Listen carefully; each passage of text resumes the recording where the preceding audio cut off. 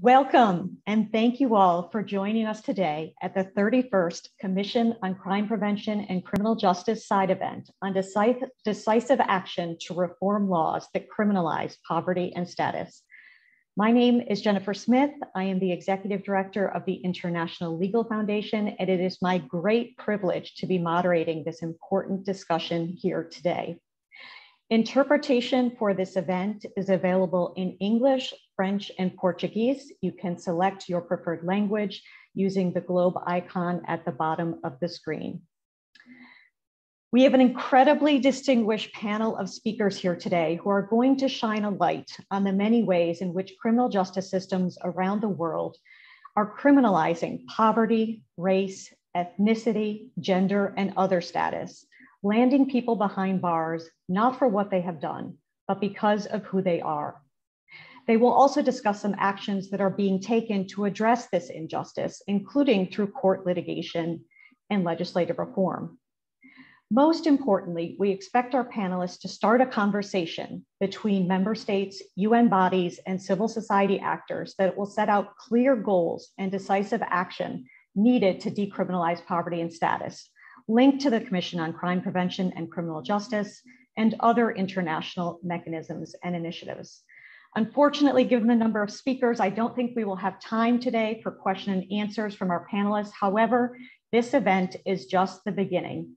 We plan to have more discussions and opportunities for action around the decriminalization of poverty and status this year.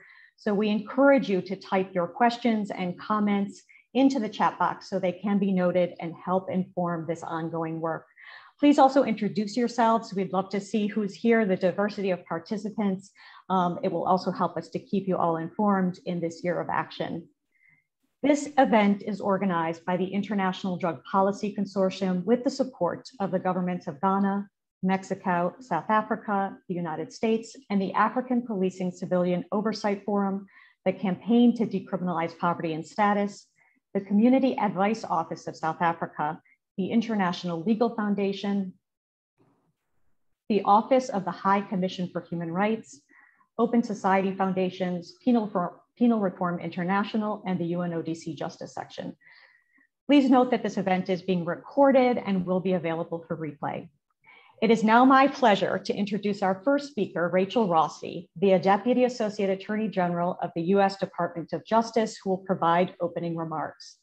As a former public defender, Ms. Rossi has witnessed the devastating connections between race, poverty, and injustice in the United States. And that the Department of Justice has been leading efforts to address this crisis nationwide. I am happy to announce that just yesterday, we heard that Ms. Rossi was appointed to lead a standalone office for access to justice at the Department of Justice that will be dedicated to the mission of closing these gaps. Ms. Rossi, the floor is yours. Thank you, Jennifer, and thank you so much for your leadership on these issues. Um, good after, good, good morning, good afternoon. Thank you for that kind introduction. Uh, it's my pleasure to be here on behalf of the United States Department of Justice and to join the many member states and civil society organizations that are participating uh, with a shared goal of equal justice under law for all. Our democracy in the United States is built upon the idea that the law, if applied fairly and impartially, can serve as a great equalizer and a powerful force for justice.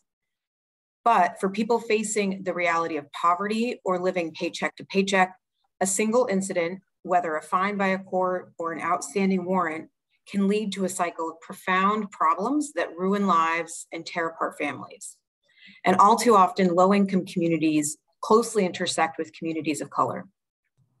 When staying in one's home, keeping one's children, obtaining a protective order to ensure safety, or simply just to maintain liberty and freedom depend upon someone's status or wealth, the promises of justice ring hollow. The Justice Department is working to renew its commitment to equity and access to justice as a core and fundamental component of its mission. And today I would like to provide some brief updates on our work. First, pursuant to the President's first memorandum on racial equity, the Justice Department recently released its Equity Action Plan, committing to the advance, advancing equity for marginalized and underserved communities in the US. The department's priorities include increasing access and opportunity in five key areas, federal financial assistance, grants, language access, stakeholder engagement, and contracting and procurement. Further, we know that Indigenous communities, communities of color, and low income communities are most affected by environmental harms and frequently face barriers to accessing the justice they deserve. For this reason, the department has created the first ever Office of Environmental Justice to address the public health harms caused by environmental crime, pollution, and climate change. Associate Attorney General Vanita Gupta recently announced a comprehensive environmental justice enforcement strategy that will prioritize cases that have the greatest impact on these communities. In addition, the department is renewing a strong focus on promoting constitutional policing. Following a review led by Deputy Attorney General Lisa Monaco, the department announced written department-wide policies limiting the use of chokeholds and limiting the circumstances in which federal law enforcement components may enter private homes without first knocking and announcing themselves. The department also directed federal law enforcement personnel to wear act and, and activate body-worn cameras in specific circumstances to promote transparency and confidence in the department's work. In addition, the department recently announced the creation of the National Law Enforcement Lab, uh, Knowledge Lab, a free training, technical assistance, and resource hub for law enforcement designed to promote constitutional policing, improve public safety, and build trust in communities across the country. It will build on multiple department initiatives to support best practices in policing. Talking a little bit about our work to combat hate crimes, the department's goal of ensuring racial equality includes reforms to prosecuting and deterring acts of hate. Hate crimes have risen to their highest level in nearly two decades, the majority of which, over 60% in the US, were motivated by race and ethnicity. Recent examples include the disturbing new pattern of hate crimes against Asian Americans that increased during the pandemic, the, during the pandemic and uh, also uh, just pause to um, recognize the victims and the community suffering after the mass shooting that occurred at a Buffalo supermarket last weekend. The department continues to vigorously investigate and prosecute hate crimes and incidents under criminal and civil laws, and we are using all of our non-enforcement resources and tools as well. And that includes funding, training, and community, community mediation to pursue a comprehensive and robust response to root out and eradicate hate. Finally, last October, Attorney General Merrick Garland announced the reestablishment of the Office for Access to Justice. The guiding principles of the revitalized and expanded Office for Access to Justice will lead the department's multi-layered response to racial inequity and will work to address the justice gaps created by poverty, language access, and other economic barriers. Among its priorities, the office will promote improved and equitable access to criminal justice and department initiatives by working with members of underserved communities to ensure that they are treated fairly and that their voices are, and experiences inform the department's work. The office, the office will also lead the department's efforts to address the root causes of discrimination and overrepresentation in the criminal justice system through data collection, study, and research. The Office for Access to Justice will accelerate innovation by championing best practices and new strategies that promote fairness in our civil legal justice system. And collaboration like this is critical as we learn from you as well. We are also working to expand language access to department resources and tools in order to ensure we effectively reach and serve all of our communities. The Access to Justice Office will also partner with foreign governments and non-governmental organizations to revitalize US global partnerships on access to justice, supporting the work of the UN Crime Commission, and also supporting our work to comply with UN Sustainable Goal Development Goal 16. And finally, the Office for Access to Justice intends to address specifically economic barriers that stand in the way to justice, such as unaffordable fines and fees, cash bail, and eviction and foreclosure proceedings that disproportionately punish poor people, people of low economic means, people of color, and other vulnerable communities. In closing, Bryan Stevenson, a well-known US civil rights lawyer said, I'm not persuaded that the opposite of poverty is wealth. I've come to believe that the opposite of poverty is justice. The department is, is deeply committed to taking all necessary steps and to partnering with you collectively to ensure that this promise of justice is real for all. This work is urgent and we must find tools to stand in the justice gap which is most often disproportionately felt by communities of color and low income communities. We have a great deal of work to do, and we know that, but we are proud to join with you and with others in the international community who share our commitment. And we look forward to a fruitful sharing of ideas and experiences from which we will all benefit. Thank you so much. Thank you so much, Rachel, both for acknowledging, of course, the deeply rooted racial injustice that exists in the United States and its intersection with, with economic inequality, um, and what you're planning to do in, in your leadership position at the Office for Access to Justice to address these issues. I, am really excited about the US um, collaboration in the international space, and hopefully there will be opportunity going forward for you to share um, your learnings with other governments around the world. Next, I'd like to introduce the Honorable Judge Makume, who is representing South Africa at this event. Judge Makume brings rich experience to this panel, both as chairperson of the Board of Directors of Legal Aid South Africa, which is you know, the lead public defender organization in South Africa representing poor and marginalized persons accused of criminal offenses, and as a judge of the High Court of South Africa, South Gauteng Division. As a judge, he has shown great courage addressing injustice, most recently in a judgment he handed down in March, in which he found that the police had killed a trade unionist in 1982 and must be held responsible for their actions. Judge Makume, the floor is yours. Thank you, Jennifer, and good afternoon to everybody. Um, my discussion with you today will more or less uh, dovetail what uh, Jennifer, Jennifer has just indicated to you. As you all know, South Africa uh, may be classified as an upper middle class income country, but it remains amongst the most unequal, one of the most unequal societies in the world with very high income and wealth inequality and low intergenerational mobility remaining as marked legacies of the historic entrenchment of economic and social exclusion poverty in South Africa has very strong racial, gender, age, and spatial dimensions.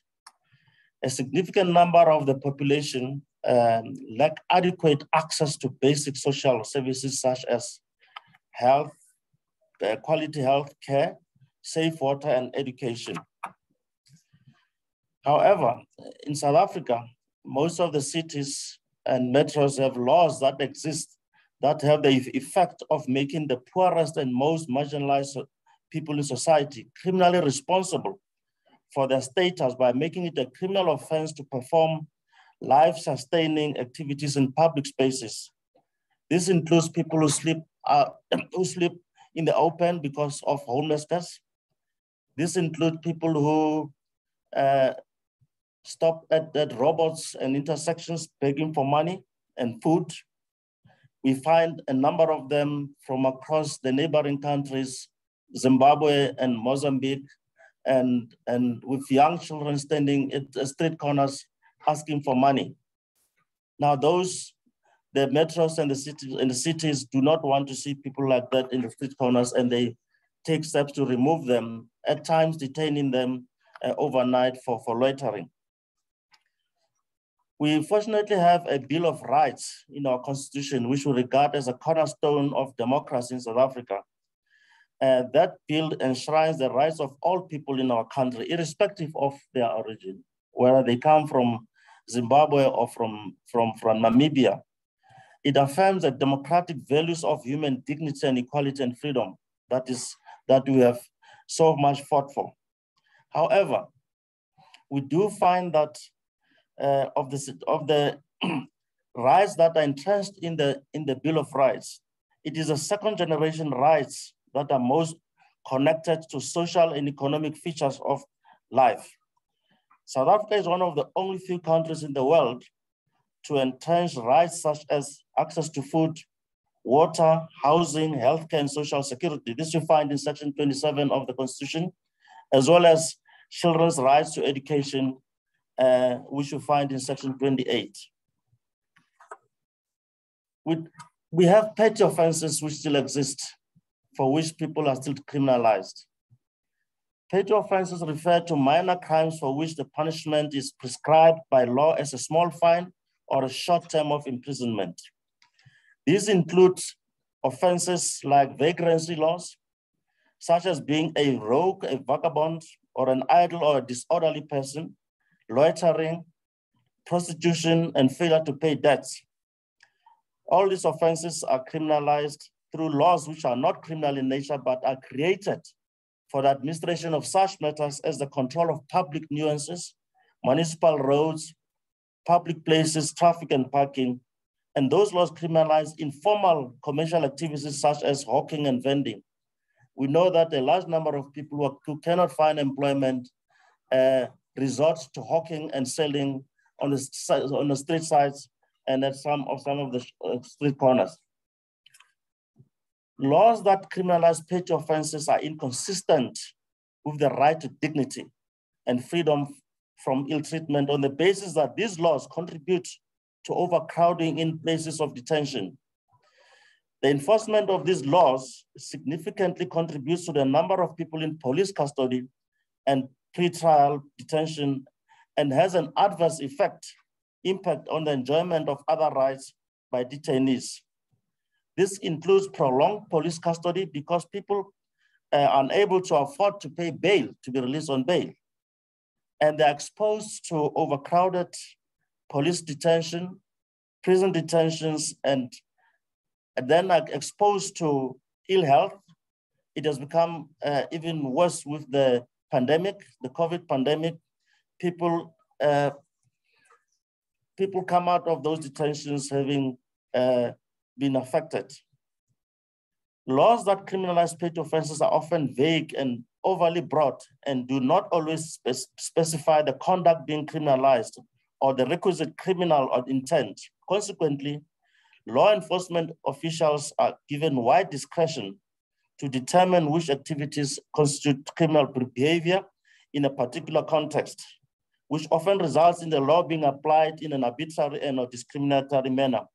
Some police officers do uh, or do arrest people who are found to be illegal in the country, and they they make it a point themselves that uh, they take bribes and say that you have now paid me money, you can go, and make sure that you don't get arrested again.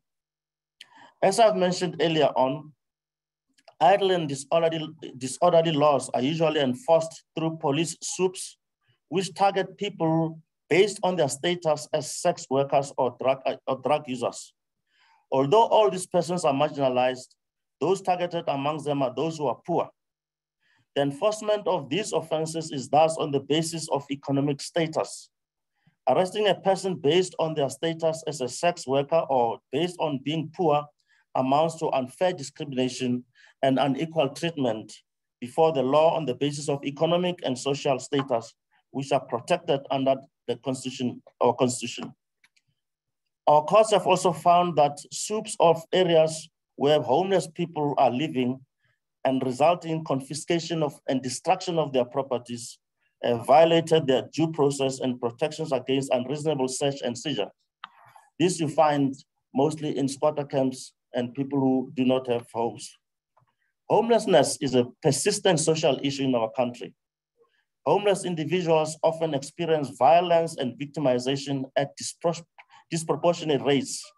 They are frequently exposed to harsh treatment and often stripped of their basic constitutional rights. Homeless individuals are arguably amongst the most vulnerable people within our society or any society, yet the concept of the homeless victim remains absent from popular consciousness as well as from criminal justice system. Homeless individuals rarely report their experiences of victimization, which could be due to their lack of awareness of their legal rights or their unwillingness to assume victim status. A survey on the cost of homelessness in Cape Town revealed that on average, a homeless individual is arrested at least once every three years. To date however, there is no specialized legislative framework directed at addressing uh, victimization of the homeless in South Africa. The criminalization of homelessness is seen as an extension of the negative attitude held by society against members of the homeless population. Historically, homeless people have faced various forms of discrimination, both individually and perpetuated as state-based uh, institutions. For example, the criminalization of activities associated with homelessness, such as loitering or being in a public, uh, being a public menace due to their visibility in public spaces. Homeless people are often subjected to regulations that are interpreted by many as being discriminatory. In addition to an increase in the risk of victimization, there is also a tendency of members of the general public and law enforcement officials to criminalize this vulnerable social group. It is thus of utmost importance that the provisions of legislations that are currently used to exploit and further marginalize vulnerable groups in society should be challenged on the basis that these provisions are inconsistent with the Constitution as they lead to the violation of the constitutional rights of marginalized groups due to their vulnerable uh, status. In conclusion, um, while this forum is providing us with the context we need to understand what needs to be done to decriminalize poverty and status, I would like to close with an urgent call for an international meeting of experts to address common ways in which the poor and marginalized are being criminalized worldwide and develop recommendations for action to address this crisis. We need to move beyond dialogue towards tangible strategies and solutions to ensure justice for all. I thank you. Thank you so much, Judge Makume, both for acknowledging the deep injustice that exists in South Africa and your efforts to address it, and calling for that expert group meeting. And I just want to acknowledge that South Africa in 2014 similarly led an initiative to bring together legal aid providers from around the world to address the access to legal aid crisis that exists. Um, and that's turned into a biannual event. So I hope with your leadership, we can make this expert group meeting happen as well. It Thank is my, uh, thank you, Judge Makume. It is my pleasure to introduce to you now our next speaker, Olivier De Schutter, who is the uh, United Nations Special Rapporteur on Extreme Poverty and Human Rights. An expert on social and economic rights and on economic globalization and human rights, Mr. De Schutter has a unique understanding on the ways in which the poor and homeless are being criminalized around the world that I hope he will share with us today, um, acknowledging what has already been said in, uh, that is happening on the ground in South Africa and the United States. Mr. De Schutter, the floor is yours. Well, many thanks indeed, Jennifer, dear colleagues. It's a great pleasure to be here and thank you for organizing this important discussion on the occasion of the 31st session of the, the UN Commission on Crime Prevention and Criminal Justice. Uh, let me start by reminding all of us that this issue that we are discussing today, particularly the criminalization of poverty as one of the most striking examples of criminalization based on status, has been revived by a judgment delivered um, a, a, bit more than a year ago by the European Court of Human Rights in the case of Lacatus versus Switzerland. Uh, this was a judgment of 19th of January of 2021 uh, concerning a, a, woman of Roma origin, um, Violeta Lacatus, who had been fined 500 Swiss francs for begging in a public space in Geneva. And uh, this is uh, an, an offense according to the the regulations in force in the uh, canton of Geneva. And since she couldn't pay, she was um, sentenced to five days of detention um, in remand um, for failure to pay the fine. The European Court of Human Rights considered that this was in violation of Article 8 of the European Convention on Human Rights and specifically the right to respect for private life that that norm um, embodies. Uh, despite the fact that some 29 states um, out of the then 47 member states of the Council of Europe have similar regulations in place. The finding of the court was that a person without work, without social aid, may have no other option than to resort to begging. And the court dismissed the arguments of Switzerland uh, that sought to defend the imposition of the fine and the sentencing to a jail um, sentence, um, Switzerland alleged that this was needed to combat human trafficking um, and criminal networks, that the passers-by were disturbed by the um, activity of begging, although Violeta Lacatus was not aggressively begging, or harassing passers-by. And uh, Switzerland had argued also that for the economic well-being of Switzerland and the attractiveness of Geneva as a, a place where tourists uh, could be uh, could be um, lured to, to, to come, that may be a problem.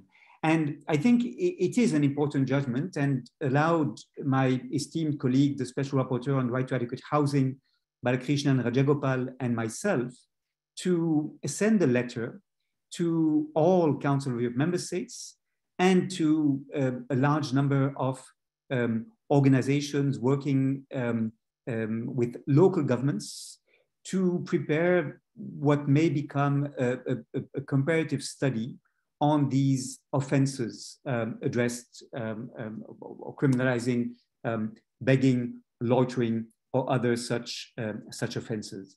Um, and I'm very delighted that uh, Gunnar Theissen from the Office of the High Commissioner for Human Rights, supporting my very dear friend Raj, the Special Rapporteur on Adequate Housing, is with us today. This is important because since many years, UN standards have been emphasizing that this kind of um, uh, criminalization of poverty is unacceptable. I refer here to the guiding principles on extreme poverty and human rights endorsed in September 2012 by the Human Rights Council. I refer also to the guidelines for the implementation of the right to adequate housing presented in December 2019, who together uh, send three important messages. First, all laws criminalizing life-sustaining life-sustaining activities in public spaces, sleeping, begging, eating, should be repealed. And this was reaffirmed by the Human Rights Council in um, a resolution it adopted in June 2020, resolution 43/14.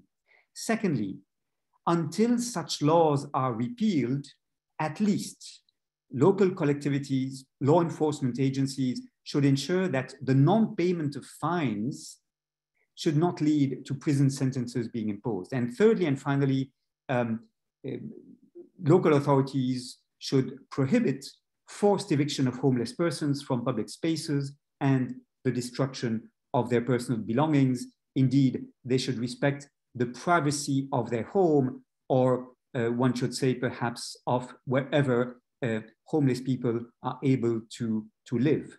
And I think these are important reminders that with um, Balakrishnan Rajagopal, we will try to um, push um, in, the next, in the next few months. Why is this important? I would like to emphasize three reasons why the criminalization of begging is of deep concern to us. First, it feeds stereotypes about people in poverty, people that if their um, activity as um, um, beggars, for example, is criminalized, are described as having chosen their condition and as being responsible for that condition, and are described as being dangerous, a threat to society, a threat to law and order. So this feeds into the negative prejudices against the poor that, as we know, have a number of problematic consequences, not least that people in poverty will fear contacts with public authorities, will not dare to seek support, to seek help, and um, will um, try to remain invisible, shameful of their condition once what they do is considered a criminal offense. So that is the first, I think, major reason having to do with the symbolic message that the law sends why we should address the criminalization of poverty.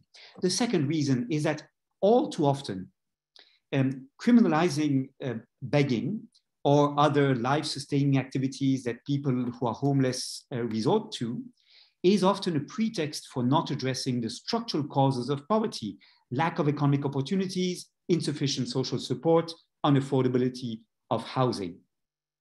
Uh, I take as one recent example of this, the decision by the municipality of Beirut to crack down on informal workers, street vendors, uh, shoe shiners, beggars in Beirut.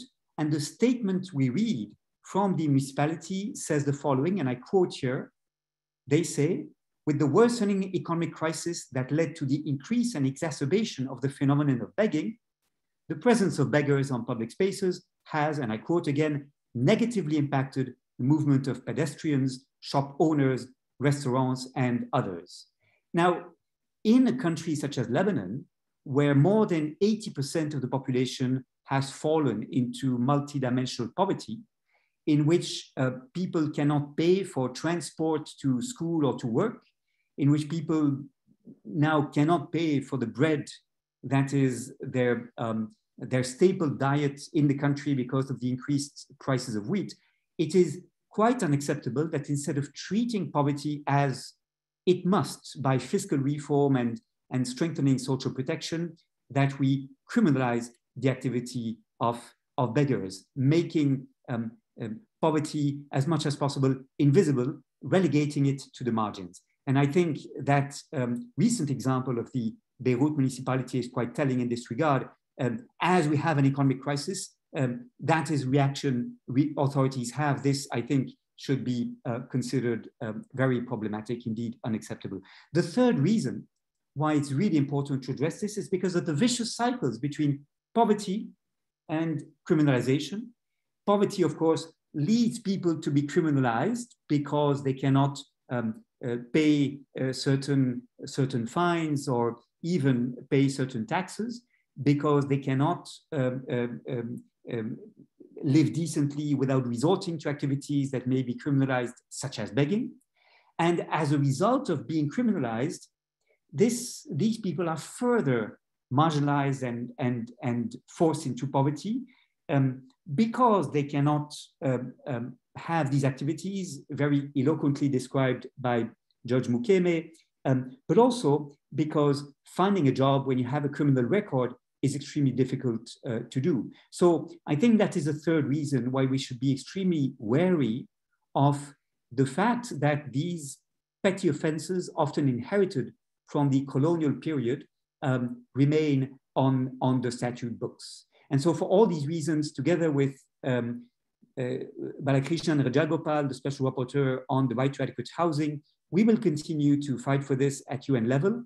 We have um, uh, called for inputs from civil society and from local um, collectivities, and we have now a very substantive mass of documentation to document what is happening, and we will continue to put pressure on states so that they revise these regulations and do not um, criminalize the poor, but that they do effectively eradicate poverty. Many thanks indeed. Thank you so much, uh, Mr. De Schutter, for your leadership on this issue. It's going to be so important to so many countries, um, as well as that comparative study, which we're, we're really anxious to see on this issue. Uh, our next speaker could not join us in person here today, um, but Dominique Day, chair of the United Nations Working Group of Experts of People of African Descent, has provided a powerful video message on the inconsistencies of justice that exist around the world based on skin color, our ability to pay, gender identity, and other status that we will play now.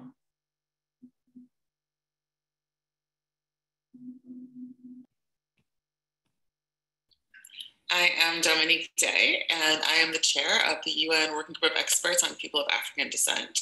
And I'm very pleased to be joining you here today for this important conversation. You know, we talk about equal protection under the law, and lawyers like me feel a personal pride and an investment in that idea. And yet, we know equality before the law has not existed in our lifetimes or in our memories.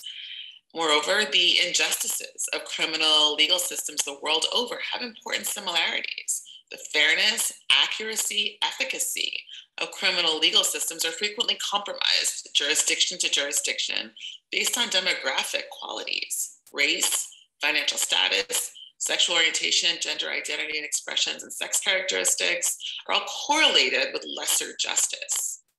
With respect to people of African descent, we can catalog the racial disparities at every stage of the criminal process where data disaggregated by race exists. This is not by mistake. To the contrary, we could argue it's by design. Criminal justice frameworks, tactics, legal instruments, investigative and prosecution techniques, and surveillance tools are exported all over the world by a small handful of wealthy and powerful countries. race itself is a transnational construct that has grown in parallel with our modern global economy. So we see surprising consistencies in the color and the shape of uh, injustice in criminal systems country to country. The perception that discretion is necessary to ensure community safety creates an opportunity to embed bias and diminished expectations into decision making at every level of these systems for certain people on the basis of our skin color, uh, our ability to pay, our gender, our gender identity, our sex characteristics. Data has shown us that judges, police, teachers, doctors who think they are colorblind and immune from using race as a factor in deciding criminality are not. The use of discretion has become measurably a platform for systemic racism, and the assumptions and legacy mindsets that go all the way back to the need to normalize racial atrocity in the trade and trafficking in enslaved Africans. This includes the historical practice of criminalizing Blackness in various ways to justify surveillance, control, and the maintaining of privilege and power, maintaining of racial hierarchy. So even as we think of criminal systems as very local, modern decision making is heavily influenced by transnational racial biases and modern tactics, equipment, and practices, including the very language of our statutes that are imported from the US, from Europe, from the North the use of discretion internally is reinforcing racial hierarchy transnationally. And we can measure this. We can measure it everywhere. We have data disaggregated by race. We can measure it qualitatively as we take walks through prisons and jails and even certain neighborhoods that are heavily policed in so many countries. So, what do we do about this? What do we do? First, it is well past time to start using international forums such as this as truth telling spaces to discuss the realities and the urgency for authentic reforms. Second, data disaggregated, by race and other demographic factors is the only way to track whose human rights are being uh, obstructed and impacted by bias. Our ignorance in this regard has not protected us. Third, it is critical to use the expertise existing in each country and each community to understand how the use of discretion, how the export of criminal justice tactics, and more may be feeding systemic racism intersectionally. And may also be feeding the criminalization of people on the basis of their status. And finally, there is a clear need for a resolution to address the widespread criminalization of poverty, race, ethnicity, and other status by countries around the world. It's an enormous task, and I stand ready to help uh, and offer my own services uh, to those who would uh, join me in this process. And uh, please do feel free to call on me uh, uh, if I may assist you as we move forward together. Thank you.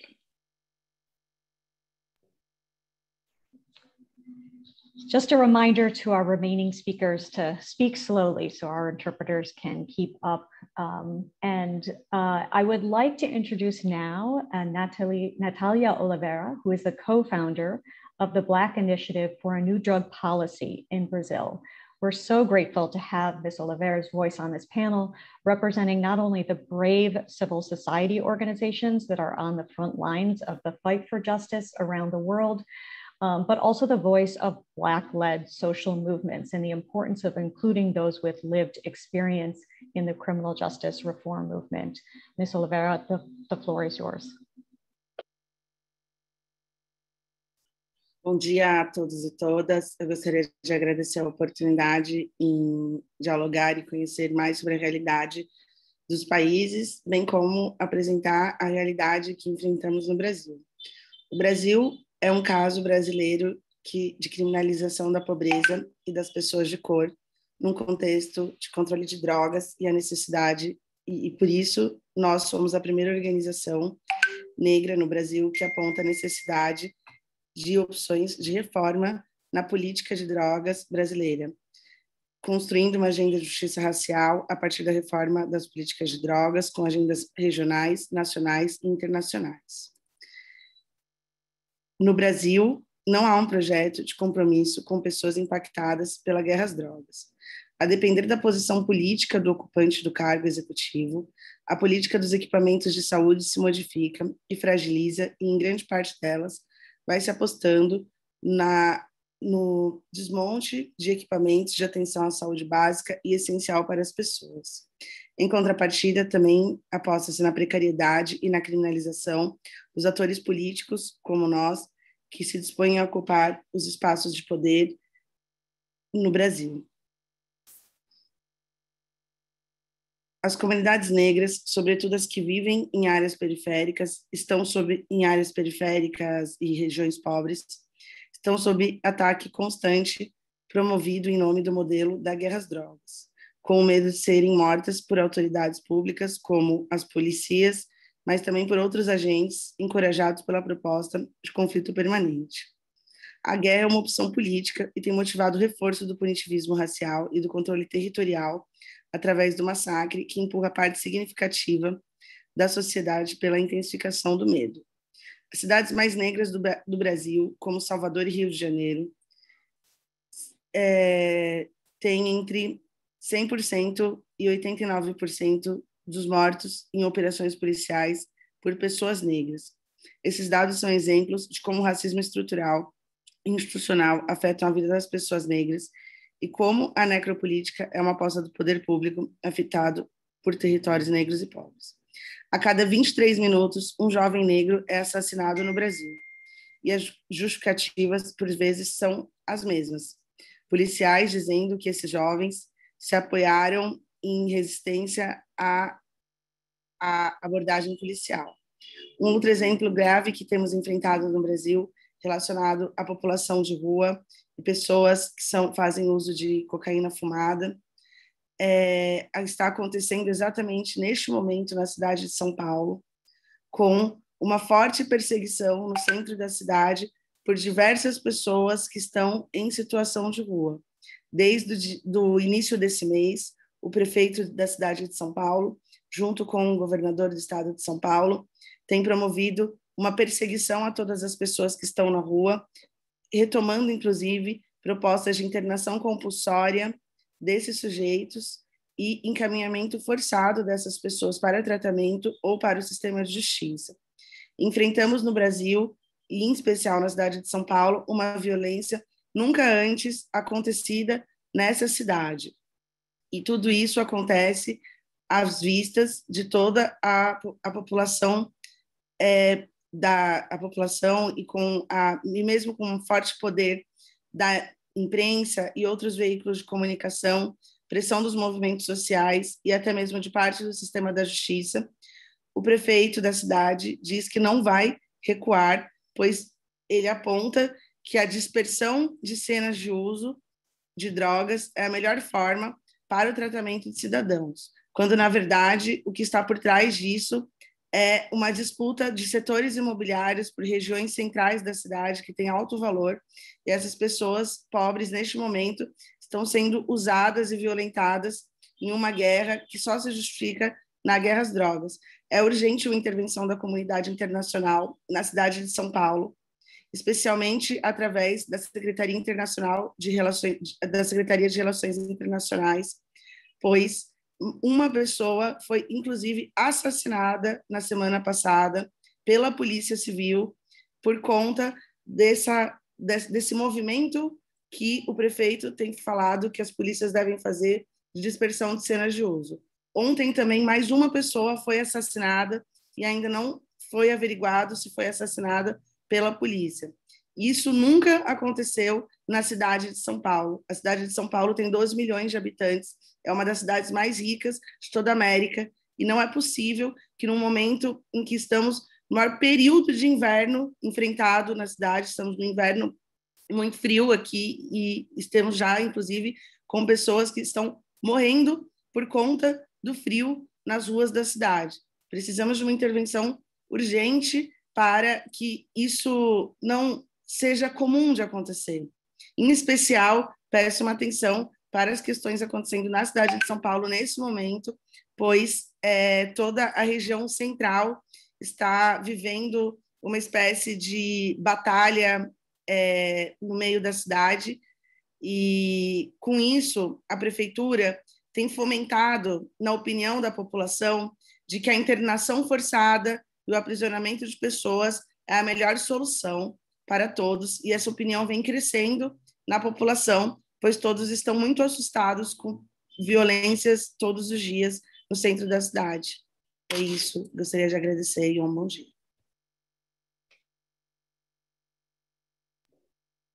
Thank you, Natalia, both for highlighting the real urgency of this crisis um, and how important it's going to be to include the voice of civil society in any effort to address it globally.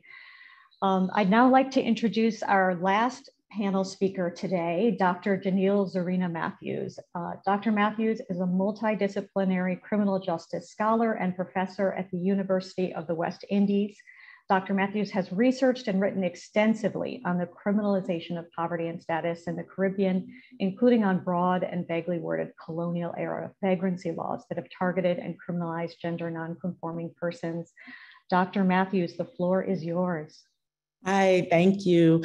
Um, good morning or good afternoon, as the case may be. Um, thanks so much for having me today. Uh, in my short time, I just wanted to quickly share with you an example from the Anglophone Caribbean and to leave you with one of my main takeaways from the strategic litigation that my colleagues and I were in, involved in and then tell you sort of a, a, what I think um, ought to happen um, as a result. So, just to give you a little background, in 2009, seven young trans persons were arrested in Georgetown, Guyana, pursuant to the 1893 Summary Jurisdiction Act. They were arrested for loitering and for the offense of being a man appearing in female attire in a public way or public place for an improper purpose.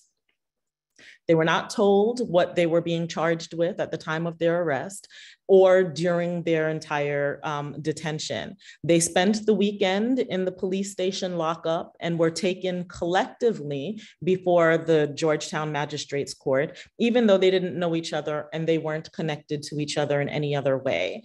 Um, their cases were uh, heard uh, together and none of them were represented by counsel. Each person pleaded guilty to the gendered clothing offense, was convicted and ordered to pay a fine fine of approximately 36 US dollars. Um, and in hearing the case, the acting chief magistrate told the group of trans persons that they were confused about their sexuality and instructed them to go to church and to give their lives to Jesus Christ. Um, and after a year um, or so, the four, four of them who were convicted, along with a local NGO, together with the support of pro bono attorneys and my colleagues, filed a constitutional claim in the High Court, arguing that their constitutional rights had been infringed. After making it through the, um, the court system, we lost twice um, at first, Court of First Instance and the uh, Court of Appeals. Um, but nearly 10 years later, um, the Caribbean Court of Justice unanimously ruled in a groundbreaking decision for the region that the gendered clothing offense was unconstitutionally vague and in a decision that would foreshadow the African Court's 2020 decision um, that vagrancy laws in form and application enable the discriminatory treatment of marginalized persons and deprive persons of their rights to equality and dignity, the Caribbean Court of Justice criticized the law as being anachronistic, um, an anachronistic vagrancy law that was part of a body of laws that were aimed at keeping the dispossessed and depressed under control, and found that the law left trans persons in great uncertainty as to what is and is not allowed. The court further found that imploring the appellants to give their lives to Jesus Christ was inappropriate proselytizing and revealed stereotypical thinking about um, transgendered persons. Um, and so this ruling, like that of the African court, is critical in recognizing where these laws came from and why. This colonial era legislation governing um, these offenses that were enacted at a time when protecting the state was more important than protecting its people. Um, when the intention was to create a two tiered society um, in which there were those who were ruled and those who ruled, um, in which there were those who were respectable and those who weren't, those who were good, those were who were bad. Um, the judicial um, decision I think um, sort of um, was a, a, way of um, kind of bringing to fo the fore, um, bringing to the public's attention a lot of these um, issues. And I think that they were important and that, um, that the decisions were, are very important and that lawyers ought to uh, continue to challenge these laws and to craft arguments that facilitate these kinds of progressive decisions. But what I think this, this decision decision has taught me, however, is that we need more than litigation. To get this one law struck down in the Caribbean, it took us nearly 10 years. One of my colleagues um, famously joked that if we had given birth to uh, at the start of this case, that by the time it actually went through the process to the um, Caribbean Court of Justice, uh, the child would be sitting exams for secondary school. Um, and so when you put it in that perspective, secondary school um, is a, a, very long time. And so when you're dealing with a body of legislation with so many similar laws, striking them one at a time every 10 years, um, it, it, feels as though you're just sort of, you know, trying to fill a, a bucket um, that has holes. Um, and so here I want to echo um, what the Caribbean Court of uh, Justice um, had uh, said um, in response to the state's uh, argument that they ought to be wary of judicial legislating, legislating from the bench. What the court says, and what I'm calling on governments to do, um, is that the best way to keep the judiciary out of the business of legislative reform is to do it yourself. Um, and here in the Caribbean, on the heels of the royal visit and um, talk about becoming a republic and breaking from the monarchy like Barbados just did. I mean, I think this is a really good time to interrogate what, um, you know, doing the reform yourself actually looks like. Uh, because governments will say, well, it looks though that we are being soft on crime. Um, how can we just say we're wholesale repealing all of these laws that are meant to uh, keep us secure? And I think um, there needs to be within that conversation of what it means to be independent and apart from the monarchy, attention as to all of these absurd laws that exist. Um, laws like, you know, uh, in St. Kitts and Nevis and throughout the Anglophone Caribbean, you can go to prison for one month for saying curse words and swearing in public. Um, most middle class people in the region don't believe that those laws exist. Uh, police officers in Guyana, where this case um, emerged um, outside of Georgetown told me that there was no such cross-dressing law in Guyana. Um, those who did know that the law existed said, but nobody ever enforces those laws. Nobody cares about those laws. And so if there's a public education campaign around um, all of the, um, the, the laws that um, were eh, meant to preserve the inequities and the iniquities bequeathed to us by the Queen. Um, in talking about breaking from the Queen, um, people would be more comfortable with um, getting rid or dismantling that framework that was meant to control us.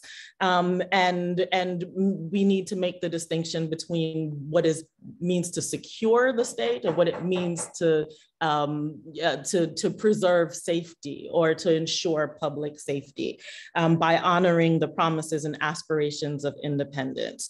So what I want to end on um, is the idea that governments ought to be focused on dismantling or decriminalizing these offenses, but with doing it with the will of the people. So with an eye towards educating the public um, as to what some of these laws are and why they need to be repealed and how that would make us all safer um, in a country that we have built and imagined um, from our ourselves.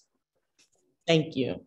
Thank you so much, Dr. Matthews. And before we wrap up and, and, and really kind of bring all this together into this year of action that we, we talked about bringing together, this isn't the end of the conversation, but really the beginning um, on how we can move forward together. I want to give the floor um, quickly to Anna Giudici, who is um, with UNODC, and she's going to talk a little bit about uh, an event that the UN put on earlier this week and, and what they are trying to do to address this issue of racial injustice around the world.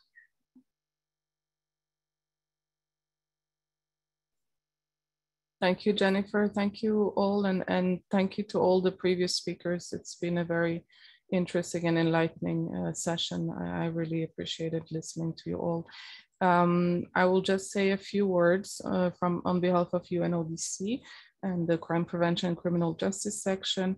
First of all, uh, my colleague from uh, OHCHR has already shared with you the quotes and the link to the UN Common Position on Incarceration uh, which is clear on the need to shift the focus from punishment to prevention, rehabilitation, restorative justice, and social reintegration, and also calls on a movement towards depenalization and decriminalization in appropriate cases in line with international standards. And UNODC has a key role in supporting member states in reviewing both their criminal laws and their penal policies to ensure they're in line with international human rights law, UN standards and norms, but also new developments around the world. So this is something that we do on an ongoing basis and we will continue to do so. As I've mentioned uh, also in the chat, uh, I lead a team working on equal access to justice for all in line with uh, SDG goals 5, 10 and 16 in particular. And our focus is very much on uh, centering those that have that we in UN lingo tend to to call uh, those at risk of being left uh, behind, but actually in more direct language, those that face discrimination, exclusion, and and uh, historic uh, injustices.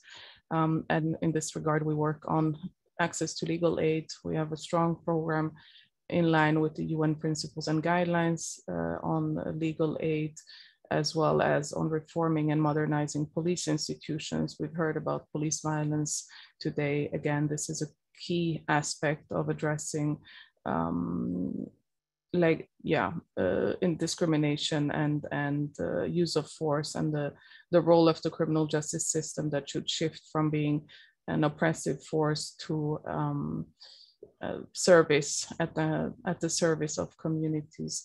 Uh, we also work on other aspects like restorative justice and support to victims of crime.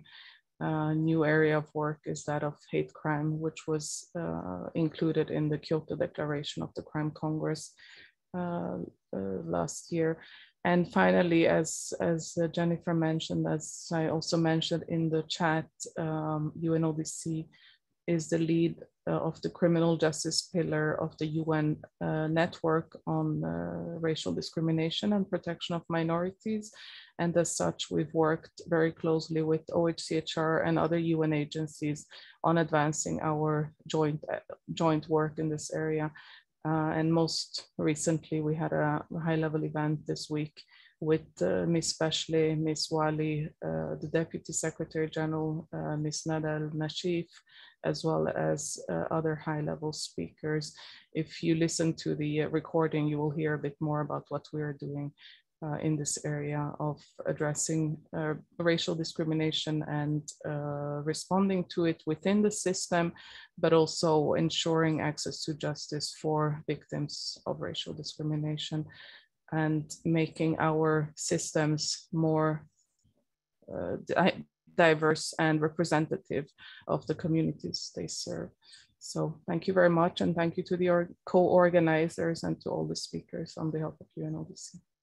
Thank you so much, Anna. And thank you to all of our amazing panelists today um, for, in Dominique Day's words, um, doing some truth telling, right? Talking about what's, what's actually happening um, and inspiring us to, to work together to take action. We're gonna be reaching out to all of the amazing participants that joined uh, this event who work on these issues around the world we are going to be looking at whether we can bring together an expert group that would that would look at these issues um, across countries, um, learn from each other, um, think about um, actions that need to be taken, and particularly um, to really push the Commission on Crime Prevention and Criminal Justice um, to be doing more, to be having these conversations, to be taking concrete um, action, um, and maybe even encouraging member states to bring a resolution that calls on them collectively to take action to repeal discriminatory laws, to stop the use of discretion um, that, that, um, that, that criminalizes individuals based on poverty and other status